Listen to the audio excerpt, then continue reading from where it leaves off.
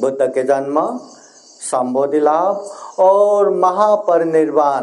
त्रिसंयोग पूर्ण ये वैशाख पूर्णिमा है, इसलिए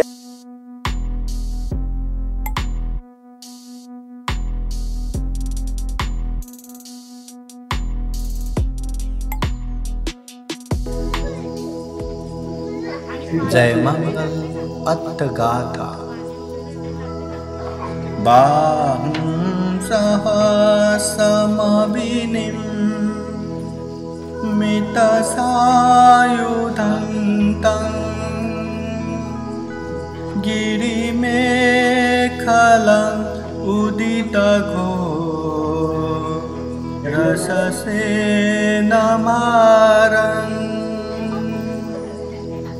दानादिधम्मविधिना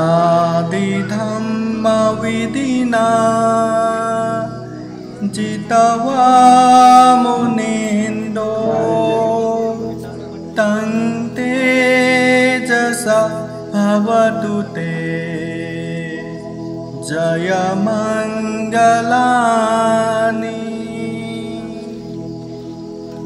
मारातिरेकमभियो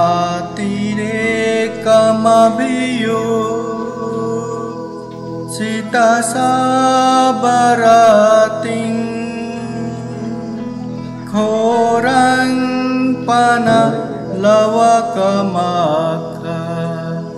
मथातयखं खन्ति सुदान्तविधिना जितवा मुनिन्दो तं तेजसा भवतु ते जय मङ्गलानि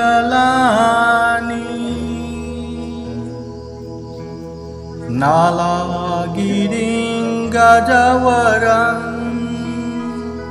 अतिमतभूतन्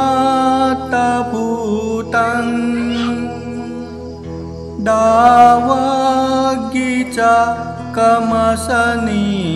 ओ सुधारुनन्तम्। मेत्ताम्बुसे कविदिना जितवा मुनिन्दो तं तेजसा भवतु ते। जयमङ्गलानि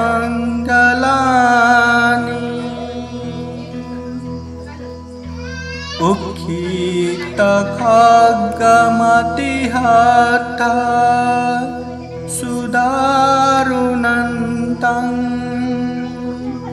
धावन्ति यो जनपथं गुलिमालवन्तम् इतिभिशङ्खतमनो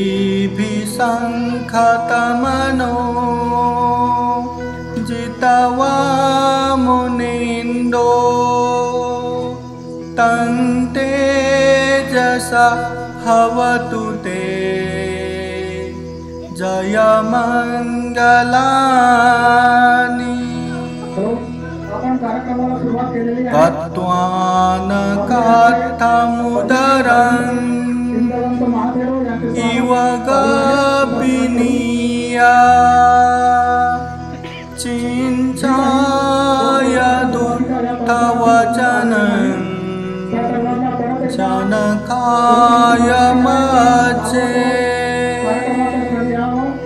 सन्तेन सोमविदिना जितवा मुनिन्दो तन्ते जसा हवतु जय मङ्गलानि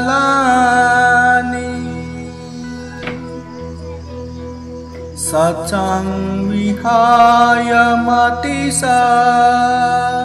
च कवादकेतु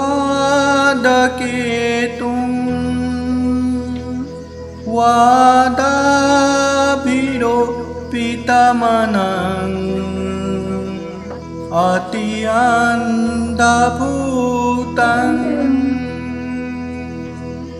पञ्जापदीपजलितो जितवा मुनिन्दो तं तेजसा भवतु ते। जयमङ्गलानि।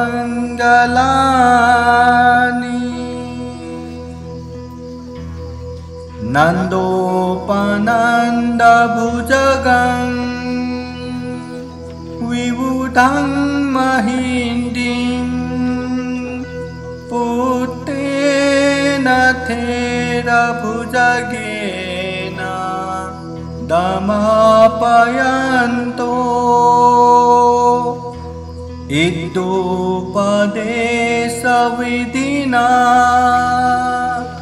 जितवा मुनिन्दो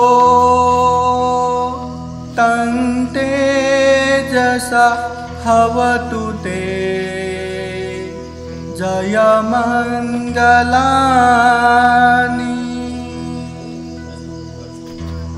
दुर्गा हदिभुजगेना सुदः ब्रह्मं विशुद्दिज्युतिमे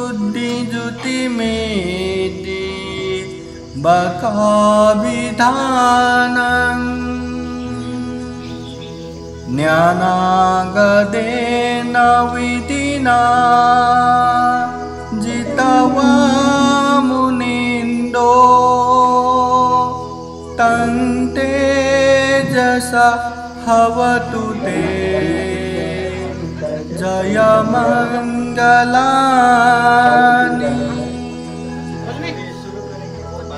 एतापि बुद्धजयमङ्ग गलाथगाथा।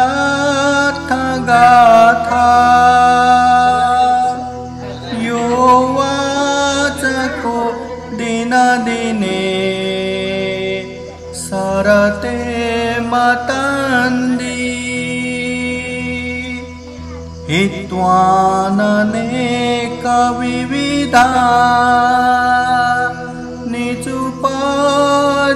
wani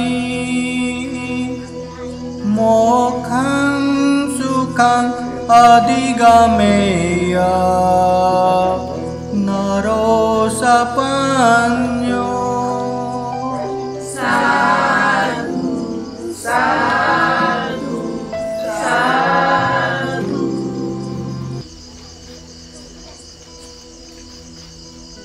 అంటే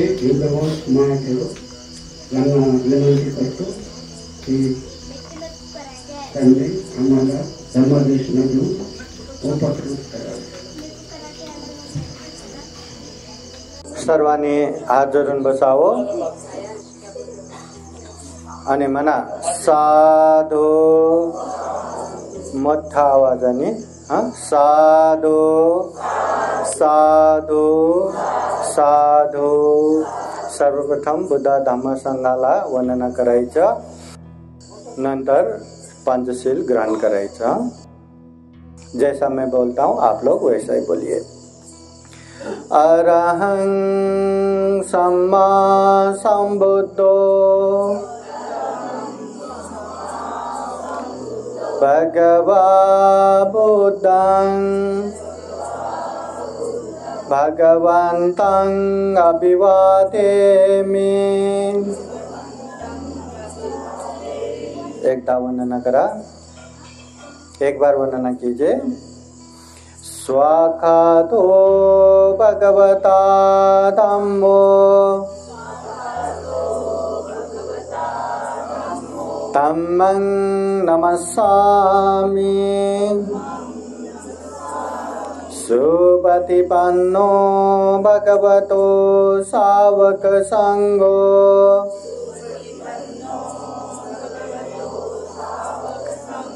सङ्घं नमामि। ओकाशवन्दामि बन्ते द्वारतयेन गतं सब අපරාධං කමතා මේ පන්තේ ဒ ුතියම්පි තතියම්පි ඕකාසහං භන්තේ තේ සරණේන සහ පංචශීලං तम्मं याचामि अनुगहं देता मे भान्ते द्वितीयाम्पि तृतीयाम्पि यमहं वदामि वदेत आमन्ते नमो तस् भगवतो अरहतो सम्मा सम्बुदस्स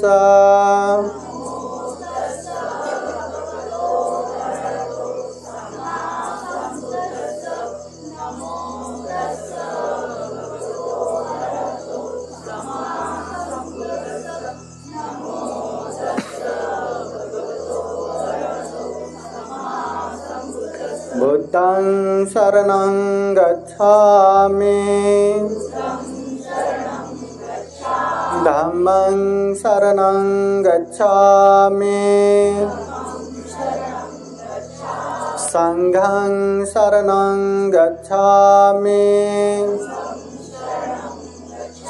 द्वितीयाम्पि बुद्धं शरणं गच्छामि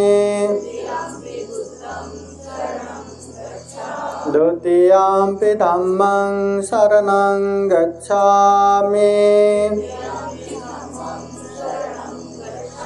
ဒုတိယံ පි සංඝං සරණං ගච්ඡාමි। တတိယံ පි බුතං සරණං ගච්ඡාමි। တတိယံ තතියම්පි ධම්මං සරණං ගච්ඡාමි. තතියම්පි සංඝං සරණං ගච්ඡාමි. තේ සරණ ගමනං පරිපුන්නං පානාතිපාතා වේරමණී සික්ඛාපදං සමාදියාමි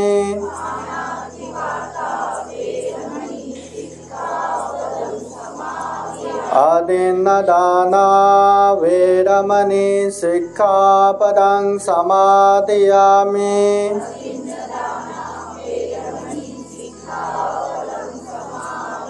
कामे सुमितारा शिक्षापदं समादयामि।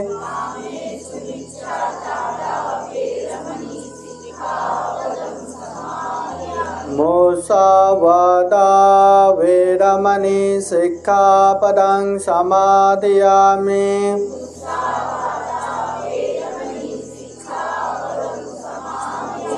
सुरामेरयो मज्जपमादत्ताना वेदमणि शिक्षापदं समादयामि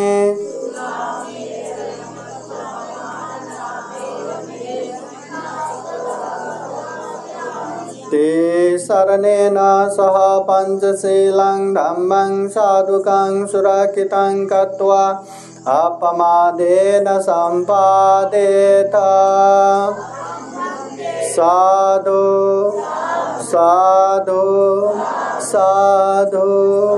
बुद्धं नमामि धम्मं नमामि सङ्घं नमामि। अहं वन्दामि सर्वदा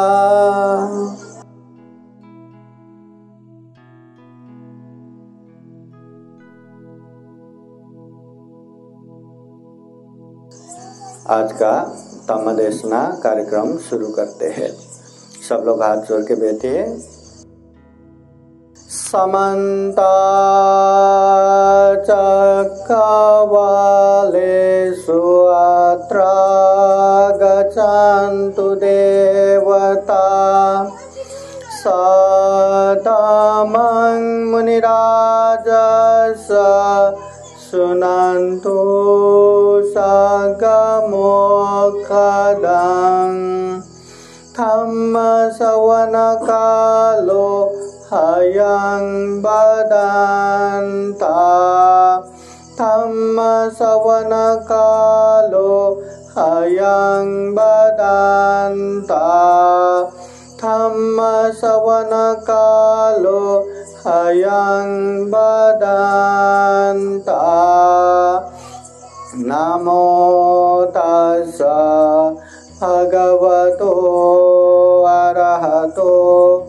සම්මා සම්බුදස්ස නමෝ තස්ස භගවතෝ අරහතෝ සම්මා සම්බුදස්ස නමෝ තස්ස භගවතෝ අරහතෝ සම්මා සම්බුදස්ස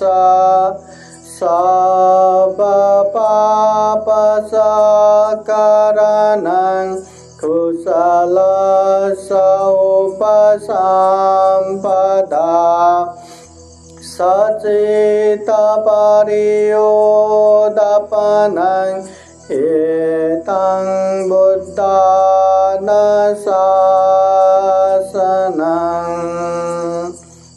साधु साधु साधु। सर्वप्रथम महाकारुणिक तथागत भगवान बुद्ध को त्रिवार वंदना। महाकारुणिक तथागत बुद्ध द्वारा देशित सुआख्यात धम्म को त्रिवार वंदना। महाकारुणिक तथागत बुद्ध के आर्य श्रावक संघ को त्रिवार वंदना।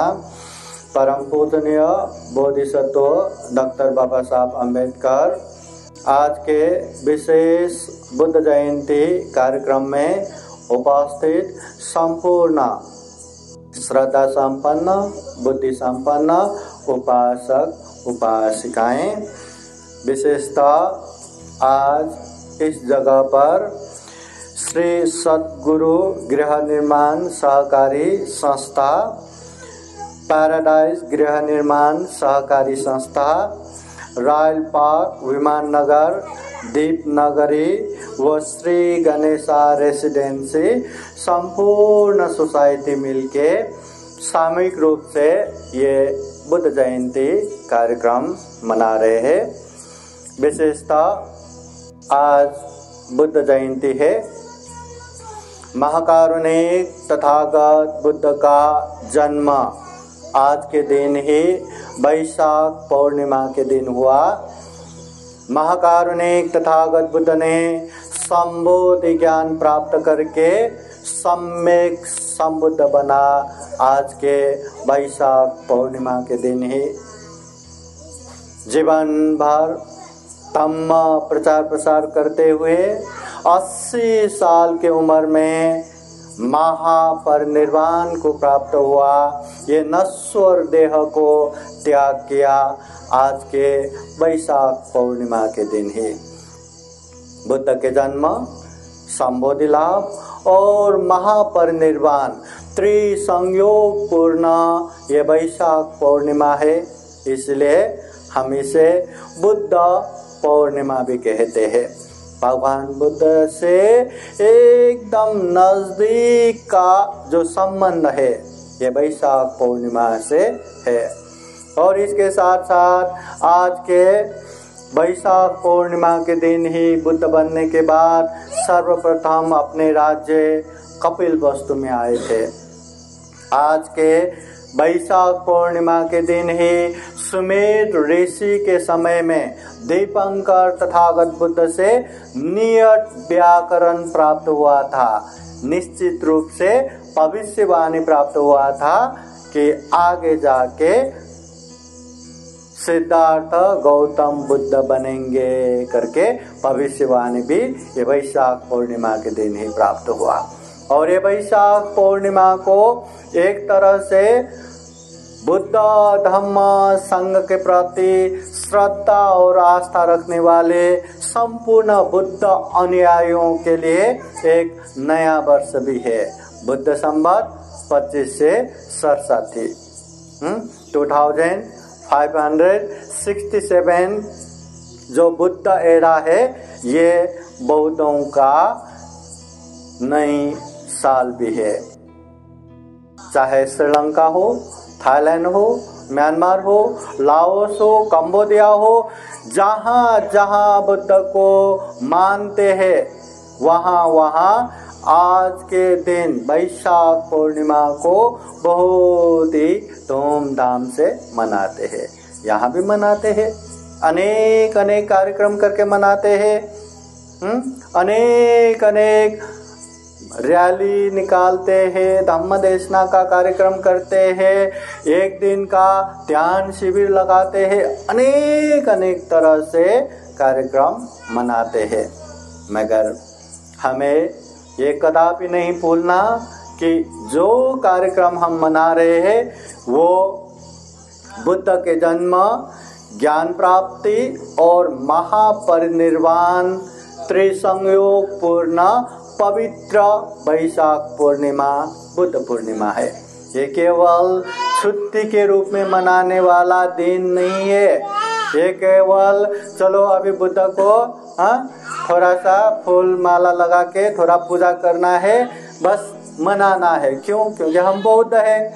बौद्ध क्यों है? क्योंकि बाबा साहब ने हमने दीक्षा दिया हाँ केवल इतना ही करके कर्म कांड की तरह हमें मनाना नहीं है। हम बुद्ध के अनुयायी है। बुद्ध ज्ञान के प्रतीक है। बुद्धं शरणं गच्छामि। हम ज्ञान के शरण में जा रहे गौतम बुद्ध के शरण में नहीं। ज्ञान, जो व्यक्ति ज्ञान प्राप्त करते हैं, उसे बुद्ध कहते हैं। बुद्ध, आप, हम कोई भी बन सकते हैं। महिला, पुरुष कोई भी बन सकते हैं। इसका मतलब बौद्ध जगत में बुद्ध भी तीन तरह का है। माहिती है का? पता है? तीन तरह के बुद्ध? तीन तरह के बुद्ध सुना होगा बहुत बार, बस याद नहीं होगा। तीन तरह के बुद्ध बोले तो एक है श्रावक बुद्ध, दूसरा है प्रत्येक बुद्ध, तीसरा है सम्यक संबुद्ध। श्रावक बुद्ध वो, जो बुद्धों के उपदेश सुन के, ध्यान अभ्यास करके जो दुख मुक्त अर्थ होता है, वो भी एक तरह का बुद्ध है, जिसे हम श्रावक बुद्ध कहते हैं। बुद्ध के उपदेश सुन के, सारी पुत्र मौट गलैंड से लेके, बहुत सारे भिक्षु पताचारा कृषा गौतमी उत्पल वर्णा से लेके बहुत सारे भिक्षुनिया जो दुख मुक्त हुए, जो अर्थ हुए, उन लोगों को श्रावक बुद्ध कहते हैं। पहला। दूसरा है प्रत्येक बुद्ध। प्रत्येक बुद्ध वो जो खुद के मेहनत से दुख मुक्त होता है, मगर वो ज्ञान किसी को प्रचार प्रसार नहीं करते। किसी को धम्म देशना दे के नहीं बैठते।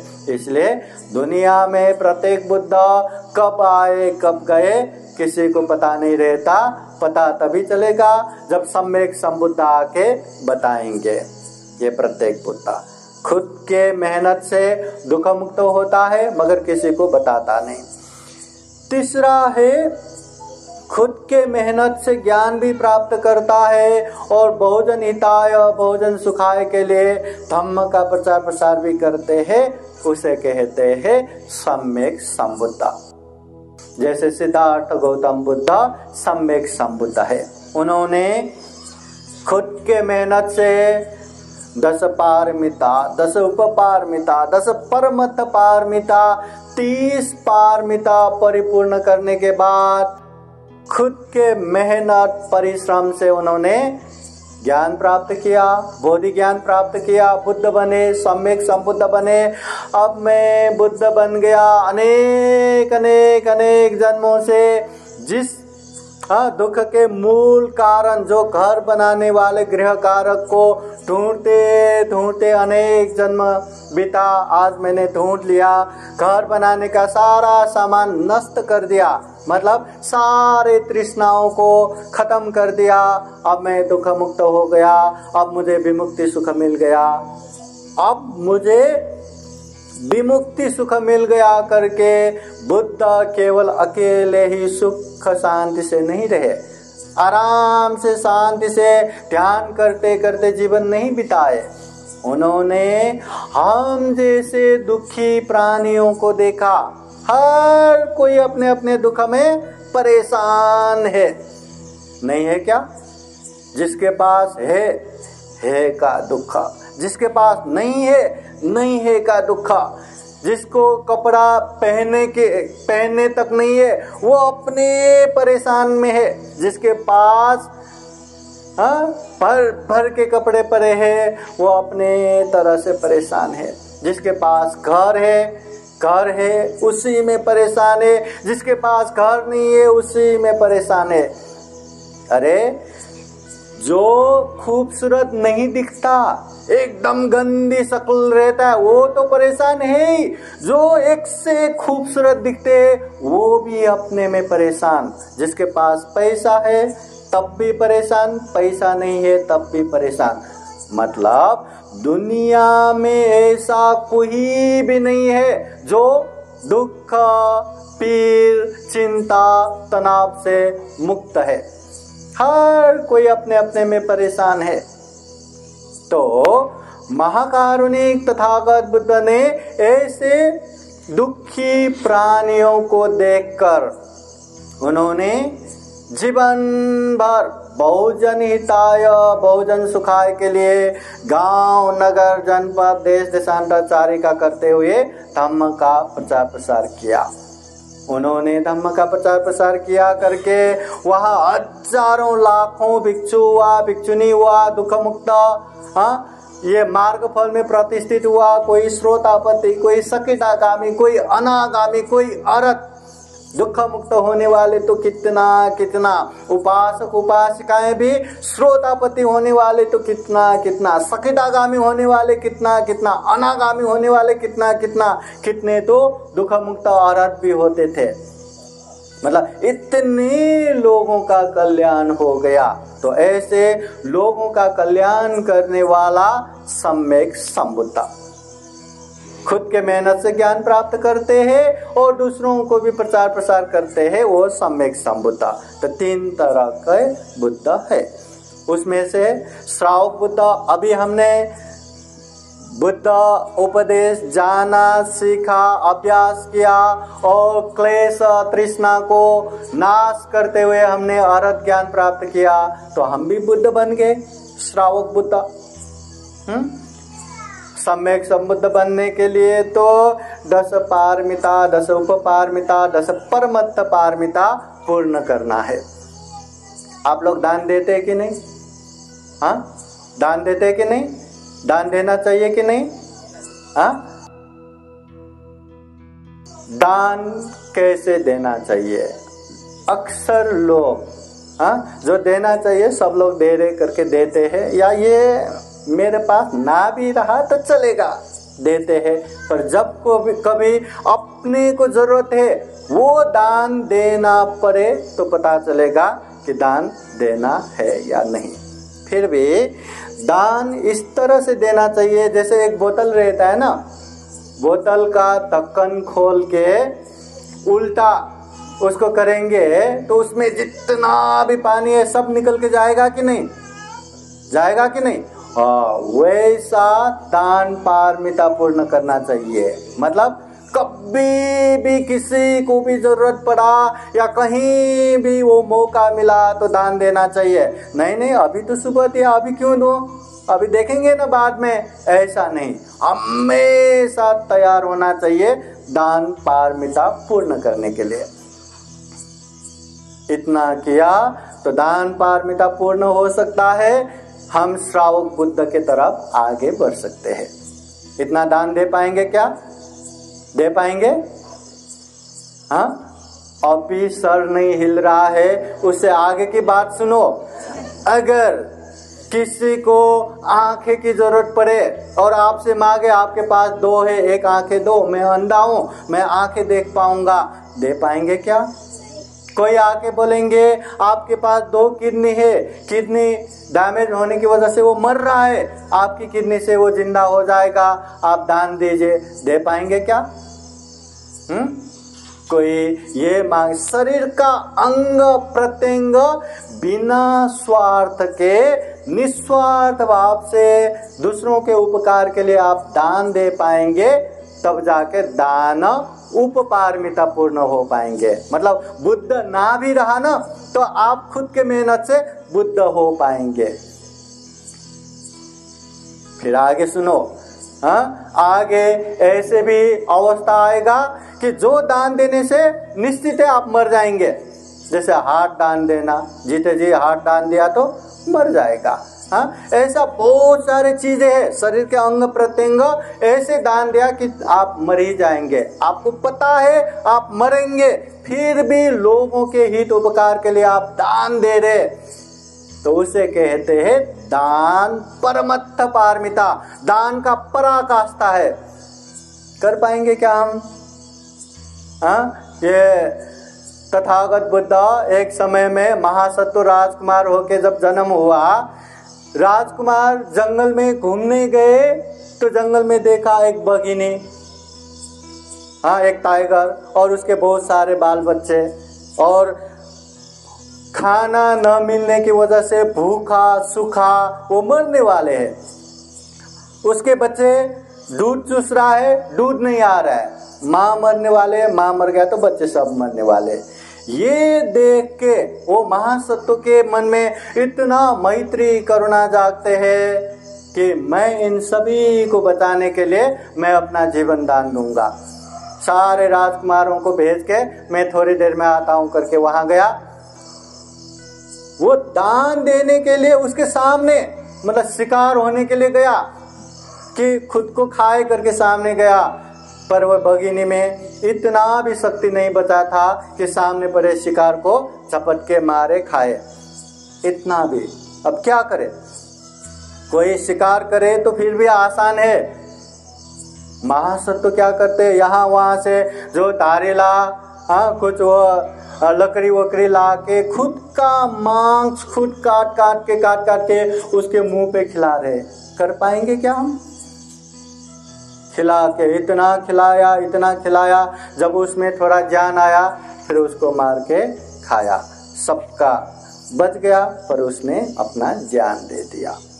ये है दान का पराकाष्ठा। हम जैसे लोग तो के तो मूर्खतापन है ना, ऐसा भी होगा क्या? ऐसा भी है क्या? पर जो बुद्ध बनने वाले हैं, जो सम्यक समुद्ध बनने वाले हैं, ऐसे चीज़ों से बहुत बार गुजरते गुजरते जाते हैं। मतलब कभी किसी को ज़रूरत पड़ा तो थोड़ा भी सोच के टाइम वेस्ट नहीं करते। दान देना है, जान गए तो गए। शरीर के अंग प्रत्यंग गए तो गए। बाकी दुनियादारी चीज़ तो बहुत छोटी मोटी बात है।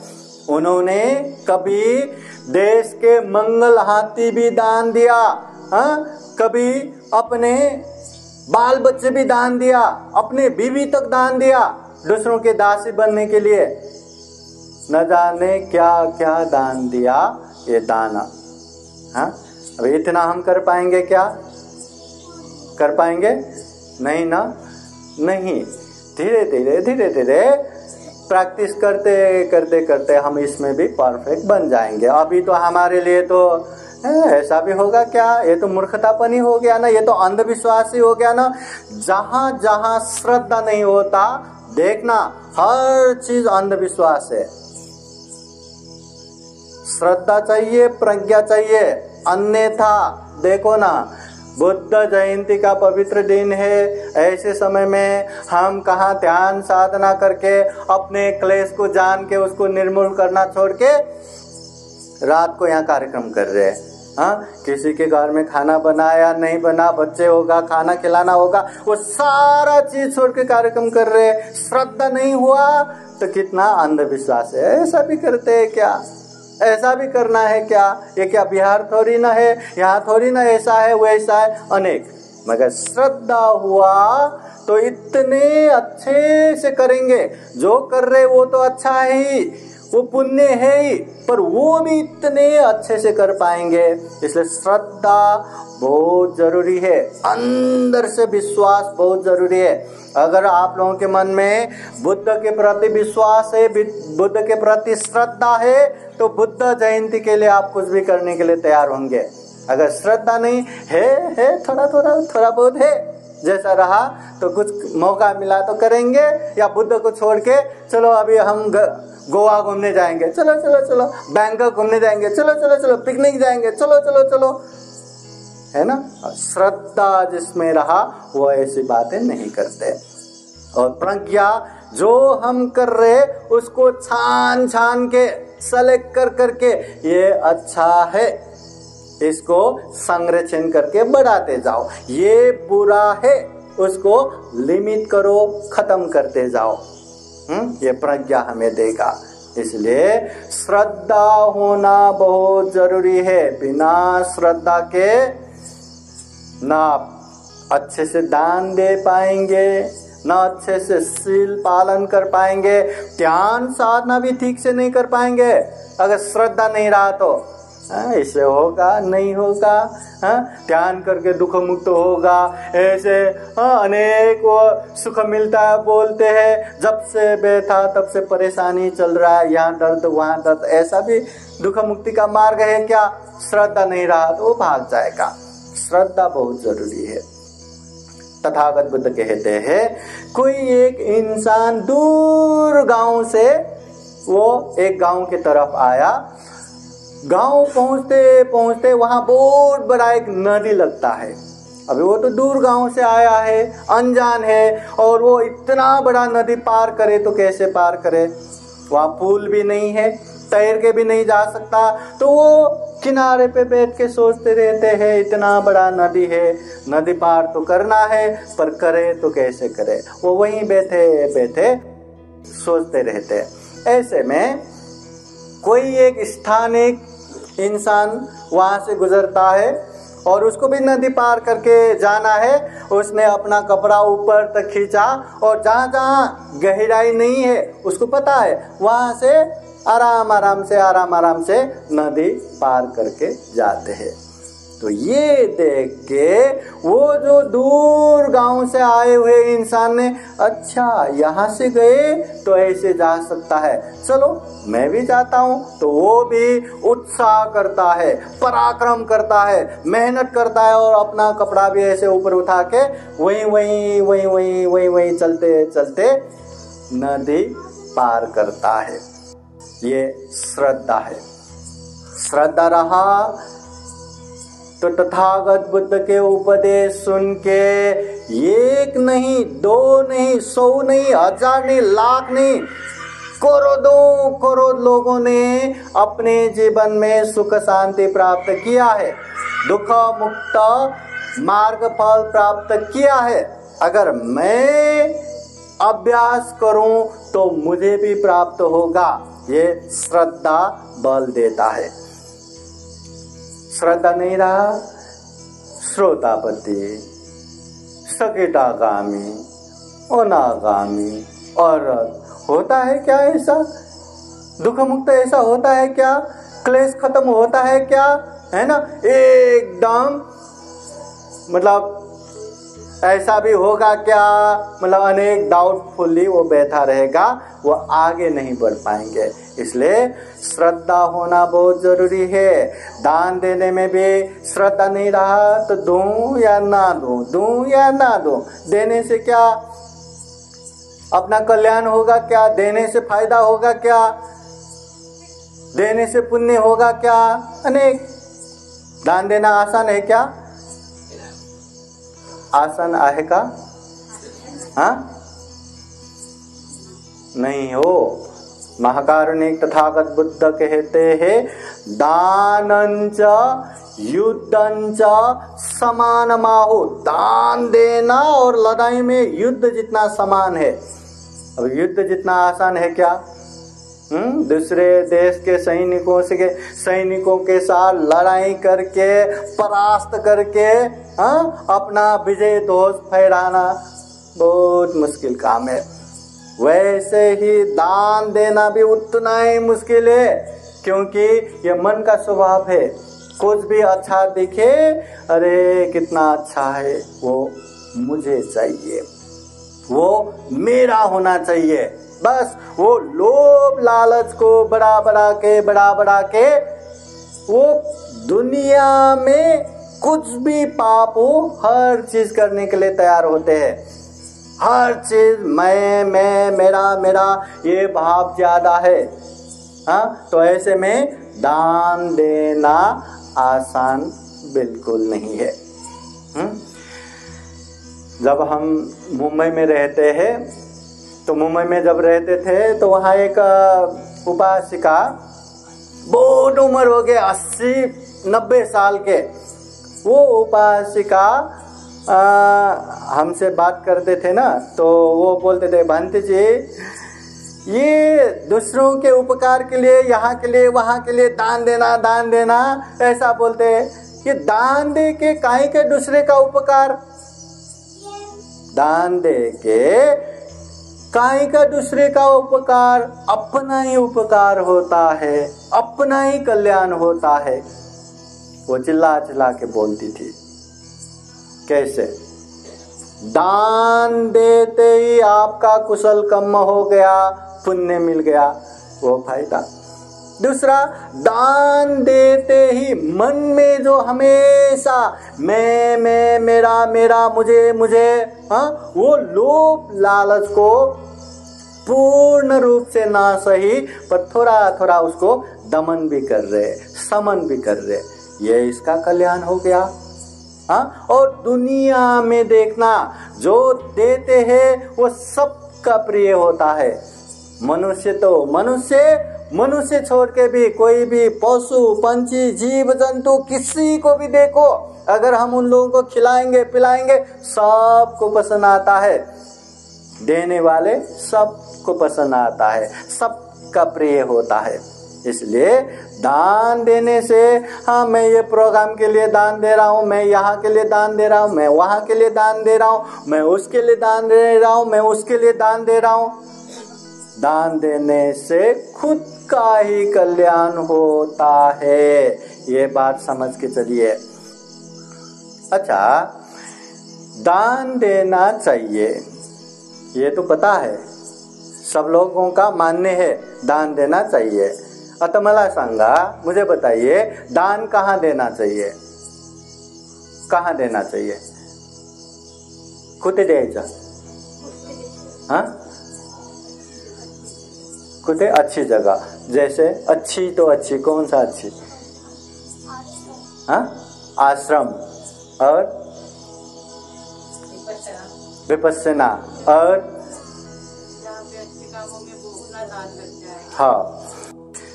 एक बार महाकारुणिक तथागत बुद्ध के पास कौशल देश के राजा प्रसेंजित आके यही प्रश्न करता है। भगवान, आप जब भी दान देते हैं, जब भी प्रवचन करते हैं, दान देना चाहिए, दान देना चाहिए, ऐसा उपदेश देते हैं। आपके श्रावक शिष्य लोग जब भी प्रवचन देते धम्म देशना देते, वो लोग भी दान देना चाहिए, दान देना चाहिए, ऐसा उपदेश देते हैं। आप लोगों को पता है दान कहाँ कहाँ तथागत बुद्ध उपदेश देते हैं?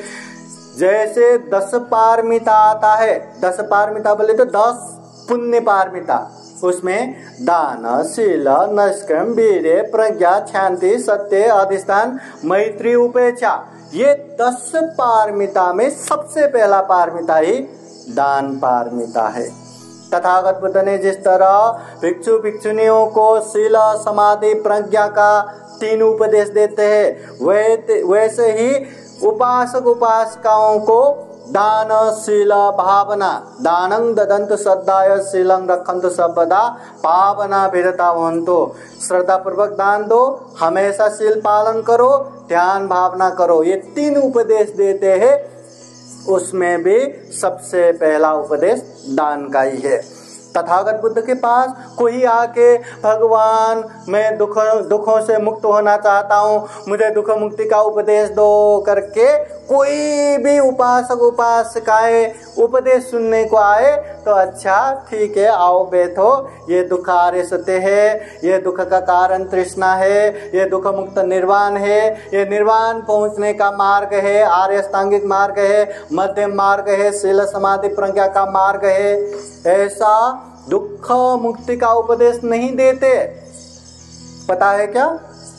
तथागत बुद्ध किसी को भी सीधे सीधे दुख मुक्ति का उपदेश नहीं देते। जिस तरह एक सफ़ेद कपड़े में नया रंग चढ़ाना हो तो सबसे पहले उसको धोते हैं। उसका सारा मैला, सारा हाँ उसका जो भी दाग है, वो सब निकालते फिर उसमें रंग लगाएँगे तो अच्छे से पकड़ता है। वैसे ही उपासक उपासिका कोई भी दुख और दुख मुक्ति का उपदेश सुनने को आए और तथागत बुद्ध ने दे दिया, ऐसा नहीं होता। सबसे पहले उन लोगों के मन को शांत, स्थिर और अच्छा बनाने के लिए दान, कथा, शील, कथा, निष्क्रम कथा, ये पंच काम आदि नव कथा करके प्रारंभिक उपदेश देते हैं। हाँ तो ये प्रारंभिक जो उपदेश देते हैं, उसमें सबसे पहले तथागत बुद्ध यही दान का उपदेश ही देते हैं। दान के बाद शील के विषय में। इस तरह तथागत बुद्ध बहुत जगह पे दान का उपदेश देते हैं। दान इसलिए भी तथागत बुद्ध बताते हैं, बिना दान दिए कुछ भी संभव नहीं है। बिना दान दिए ना आपका शील परिपक्व हो सकता है, न ध्यान परिपक्व हो सकता है, कुछ भी नहीं। ये मूल आधारशिला है, हर पुण्य का आधार है ये दान। इसलिए तथागत बुद्ध प्रारंभ में दान का उपदेश देते तो प्रसेंजित राजा पूछते हैं कि आप दान के विषय में दान देना चाहिए, दान देना चाहिए, ऐसे उपदेश देते हैं, दान कहाँ देना है? उस समय तथागत बुद्ध ऐसा नहीं कहते दान कहाँ देना है? मुझे दो, भिक्षु संघ को दो, भिक्षुनी संघ को दो, बिहार में दो। ऐसा नहीं कहते। अगर ऐसा कहते तो बुद्ध बुद्ध कैसे होता, है ना? तो तथागत बुद्ध कहते हैं, ध्यान से सुनिए हाँ दान कहाँ देना है?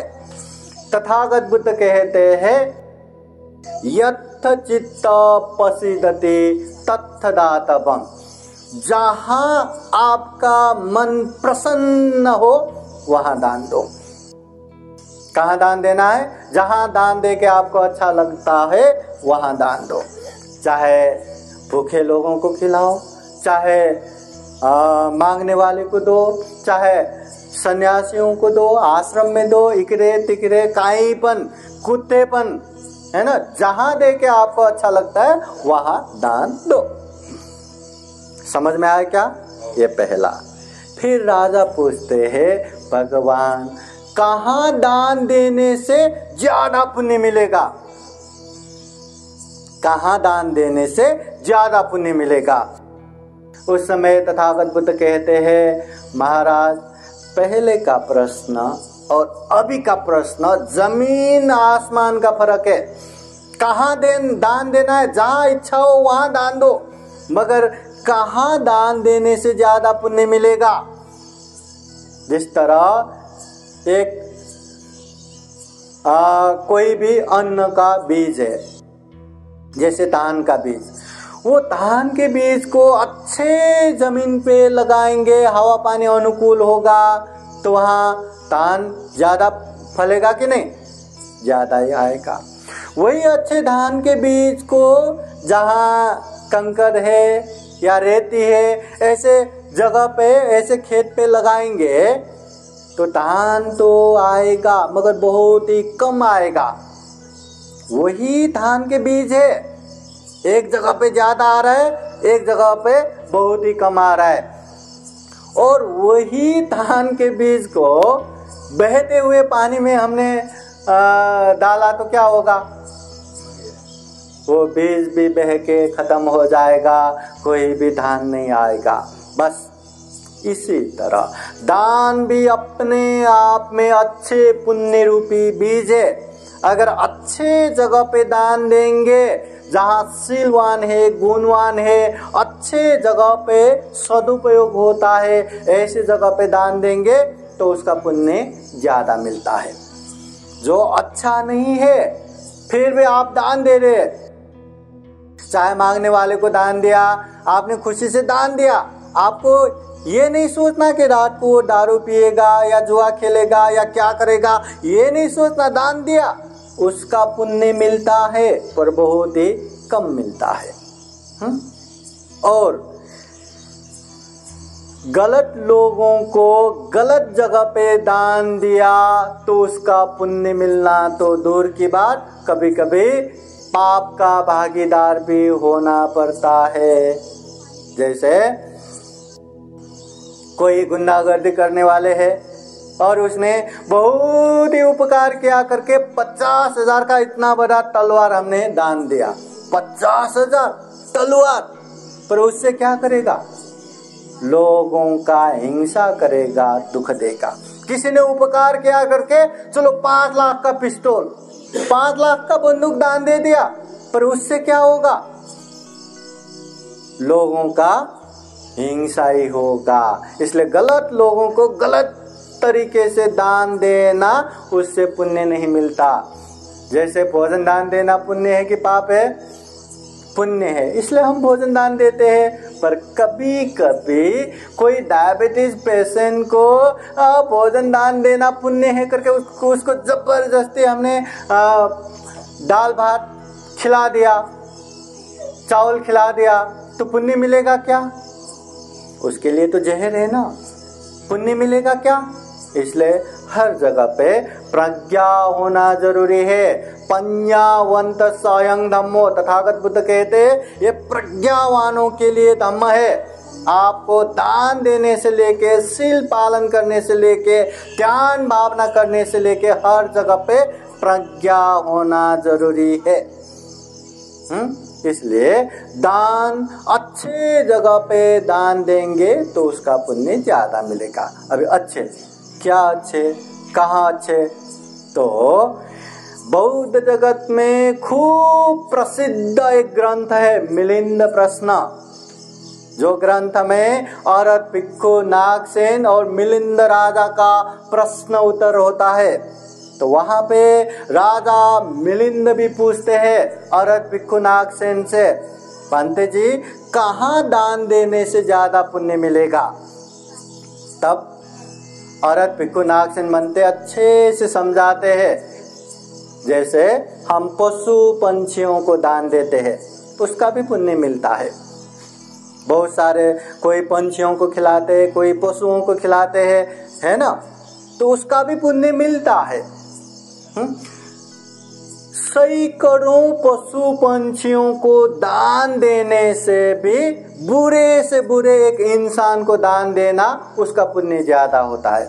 क्योंकि पशु पंछी कुछ भी खा पी सकते हैं, इंसान नहीं खा सकते और इंसान चेतनशील प्राणी है। सैकड़ों बुरो, बुरे से बुरे इंसानों को दान देने से भी एक अच्छा बनने के प्रयास कर रहे एक इंसान को दान देना, उसका पुण्य ज़्यादा मिलता है। अच्छे बनने के प्रयास कर रहे सही करो इंसानों को दान देने से भी जो अच्छा है, जो सीलवान है, जो गुणवान है, उसको दान देने का पुण्य ज़्यादा मिलता है।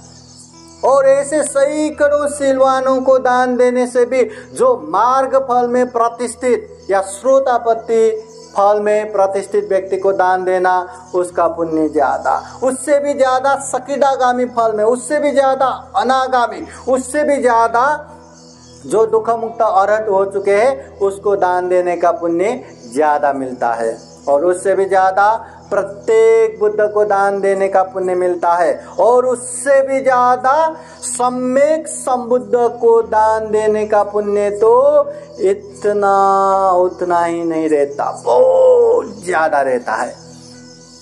समझ में आया क्या? दान अपने आप में पुण्य रूपी बीज है। अच्छे जगह पे दान देंगे तो उसका पुण्य बहुत ज़्यादा मिलेगा। गलत जगह पे दान देंगे तो कभी कभी हमें पाप का भागीदार भी बनना पड़ता है। इसलिए सोच समझ के अच्छे जगह पे श्रद्धा पूर्वक दान देना चाहिए। अभी घर में आग लग गया। हम्म? घर में आग लग गया तो क्या करेंगे हम? हम्म, पानी डालेंगे आग को बुझाएँगे है ना?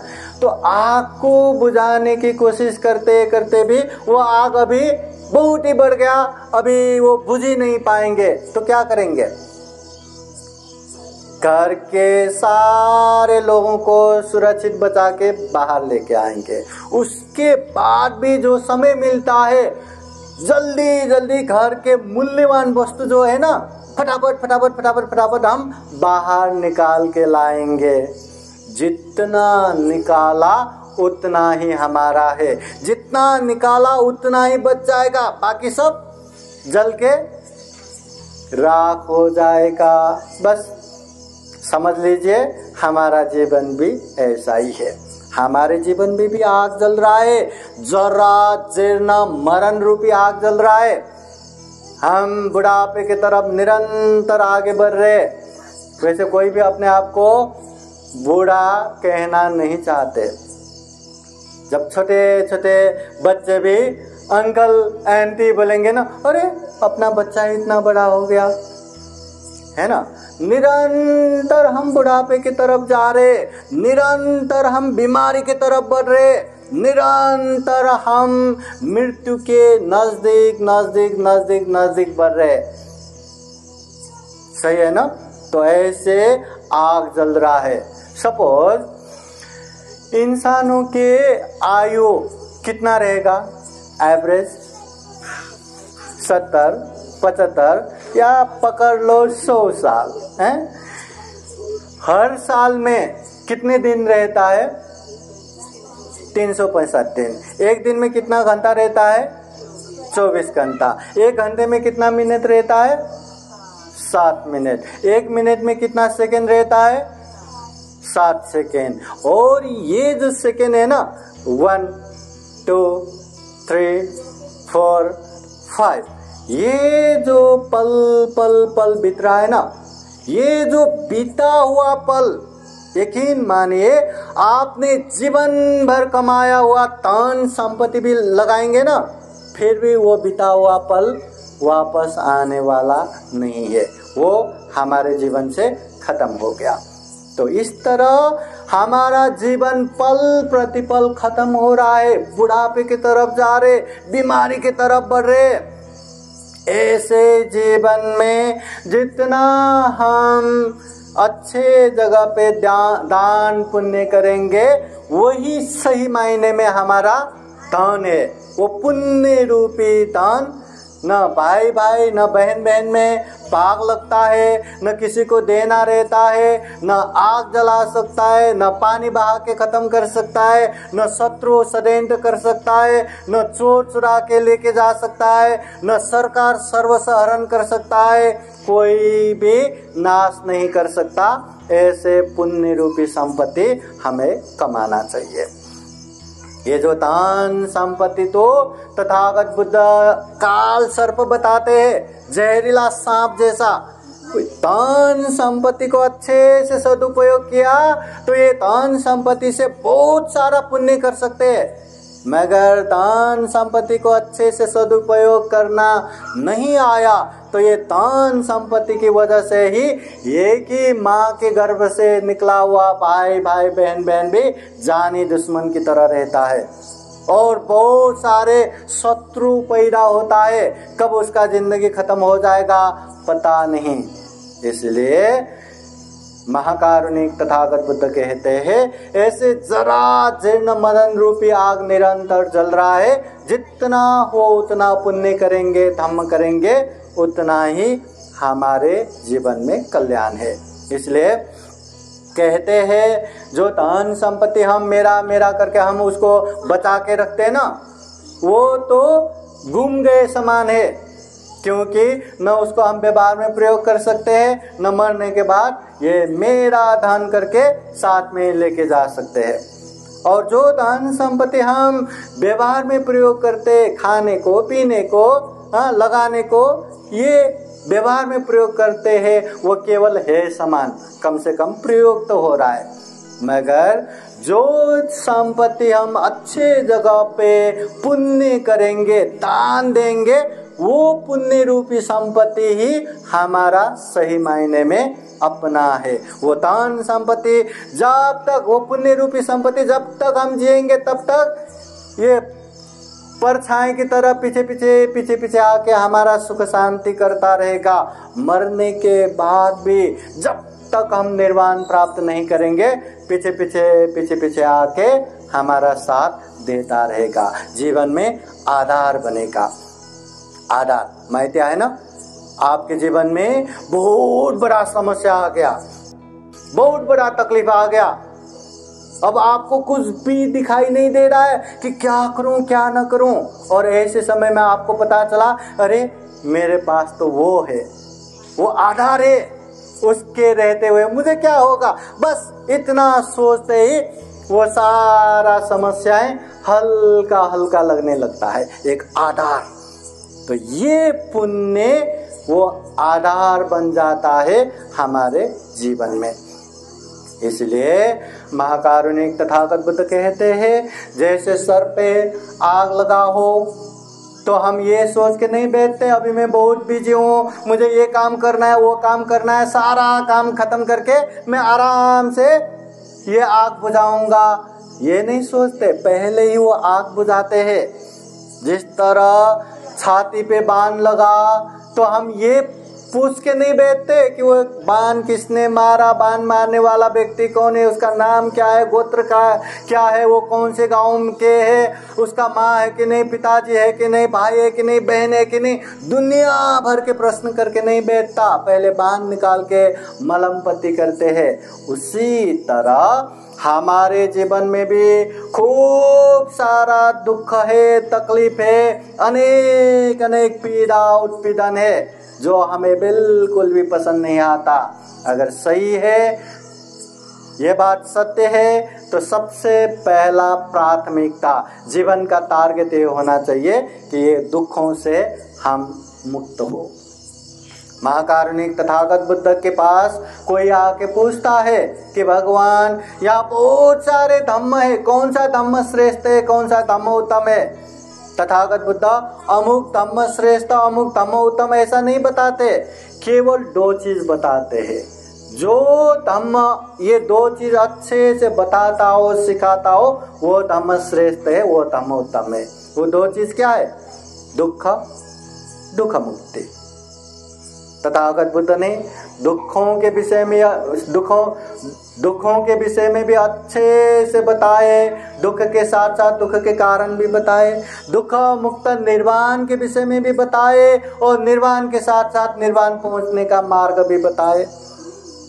हाँ तो आज पवित्र बुद्ध जयंती है। ऐसे पवित्र दिन पे महाकारुणिक तथागत बुद्ध को जानना, तथागत बुद्ध के धर्म को समझना और उसको अभ्यास करना सही मायने में हम बुद्ध के प्रति आदर, सत्कार है। हम बुद्ध को पूजा करते हैं। केवल अगरबत्ती, धूप फल फल इत्यादि से नहीं। इमाय तम्मानुधम्म पतिपति या बुद्धं पूजे में तम अनुसार तम आचरण करके बुद्ध को पूजा करना है। तम अनुसार तम आचरण करके तम को पूजा करना है। तम अनुसार तम आचरण करके संघ को पूजा करना है। बुद्ध धम्म संघ को पूजा करना है, पर तम अनुसार तम आचरण करके। केवल मुँह से नहीं केवल दिखावती नहीं केवल आ, लोगों के सामने में धार्मिक हूँ वो एक्टिंग करने के लिए नहीं। याद रखना जो जो समाज में बहुत सारा रहता है हाँ जो खुद अच्छे ना भी हो तो लोगों के सामने बहुत अच्छे बनने का बखूबी नाटक करके बैठते हैं। लेकिन मानिए जितना मेहनत आप अच्छे दिखाने के लिए जो मेहनत करते हैं ना, उतना मेहनत सही में आप अच्छे बनने की कोशिश करेंगे ना, आप सही में अच्छे भी बन जाएँगे हम्म? इसलिए हमें केवल दिखावे में नहीं जाना, अच्छे बनने के लिए ही जाना ये तथागत बुद्ध के उपदेश है इसलिए तथागत बुद्ध हमेशा कहते हैं, सब पाप सकरण जितना भी पाप हो, गलत हो, वो ना करो। कुशल से उपसंपदा जो भी अच्छे है, पुण्य है तमय उसे करो। सचित परियोदपन, अपने चित्त को परिशुद्ध रखो। जब जब चित्त अशुद्ध होगा, मुँह से भी अशुद्ध ही निकलेगा, शरीर से भी अशुद्ध ही काम होगा। और चित्त परिशुद्ध रहा तो वाणी से भी खूब अच्छा अच्छा निकलेगा, शरीर से भी खूब अच्छा अच्छा पुण्य कार्य होगा। इसलिए चित्त परिशुद्ध रखो। ये तीन चीज़ तथागत बुद्ध हमेशा बताते हैं। तो बुद्ध पूर्णिमा के उपलक्ष्य में बुद्ध को हम अच्छे से जान सके है ना? तथागत बुद्ध कहते भी है, यो तमंग पश्यति सोमंग पश्यति। जो तम को देखता है, वो बुद्ध को देखे समान है। जो तम को पहचानते हैं, वो बुद्ध को पहचाने समान है। इसलिए तथागत बुद्ध को जानना है, समझना है तो उनके धम्म को अच्छे से जान सके, समझ सके, और वो धम्म को अच्छे से व्यवहार में पालन करते हुए जीवन में सुख शांति प्राप्त कर सके। सही मायने में बुद्ध के प्रति पूजा है, धम्म के प्रति पूजा है, संघ के प्रति पूजा है। तो आज विशेषतः बुद्ध जयंती है, वैशाख पूर्णिमा, बुद्ध पूर्णिमा है। इस उपलक्ष्य में आप सभी के जीवन में खूब खूब सुख हो, शांति हो, मंगल हो, कल्याण हो, ऐसे शुभेच्छा शुभकामना और मंगल मैत्री आशीर्वाद प्रकट करते हैं। तथागत बुद्ध के धर्म को अच्छे से तारण कर सके, जान सके और अच्छे से व्यवहार में पालन करते हुए ये दुर्लभ यह अमूल्य, ये सर्वश्रेष्ठ मनुष्य जीवन को सफल बना सके, सार्थक बना सके। अंत में जन्म जरा व्याधि मरण से मुक्ता निर्वाण तक साक्षात्कार कर सके, ऐसी कामना करते हुए आज का ये धम्म देशना यही समापन करते हैं। धम्म देशना के अंत में बुद्ध वाणी पाली गाथा द्वारा आशीर्वाद देते हैं। सब लोग हाथ जोड़ के बैठे, बोलिए, साधो साधो साधो। बुद्धवाणी पाली गाथा द्वारा आशीर्वाद देते हैं। सवेदेव विवाजान्तो सब्बरोगो विनाशतु माते भवत्वन्तरायो सुखी दीर्घायुको भव। भवतु सब्बमङ्गलं रक्षन्तु सब्बदेवता। सपबुद्धानुभावेन सदा सोते भवन्तु ते। भवतु सब्बमङ्गलं रक्षन्तु सब्बदेवता सपधम्मानुभावेन सदा सोते भवन्तु ते। भवतु सब्बमङ्गलं रक्षन्तु सब्बदेवता सपसङ्गानुभावेन सदा सुभवन्तु ते। एतां पाचितां दु्याङ्गिपमेव समेचतु। सपे पुरेन्तु चेत् छन्दोपन्नरसो यथा। आयु आरोग्यसम्पाति सखसम्पातिमेव च। अथो निर्पाणसम्पत्ति हिमिनाते समेचतु साधु साधु साधु। बुद्धं नमामि, धम्मं नमामि, संघं नमामि। अहं वंदामि सबदा सबका मंगल हो, कल्याण हो, सुखी हो। ये कार्यक्रम धम्मदेशना का यही समापन होता है। भगवान बुद्धाची जयंती बुद्धाची जयंती म्हणजे म्हणजे भगवान बुद्धाचा जे दाखवलेला जो धम्म आहे त्या धम्माचं आचरण करणं हीच खरी आपली त्यांना आदरांजली आहे आणि तोच उत्सव आहे मी परत एकदा भगवंत इंद्रवंत महादेव यांचे धन्यवाद सगळ्यांतर्फे मी धन्यवाद प्रत्येकाला अशी विनंती आहे की ज्यांना भगवान बुद्धांना फुलं व्हायचं असेल त्यांनी भगवान बुद्धांना फुलं व्हावे आणि पंतजींना काही दान करायचं असेल ते दान करावे त्यानंतर खीर जरा तर खिरीचा आस्वाद घ्यावा सगळ्यांनी आणि त्यानंतर आपला कार्यक्रम संपन्न धन्यवाद. म्हणजे पुण्य अर्जित करण्याचे जे सांगितलेले ते कानापासून म्हणजे आपली आसक्ती कमी करण्यासाठी आपली कृष्णा कमी करण्यासाठी म्हणून सांगितलं ते पंचमी सांगितलं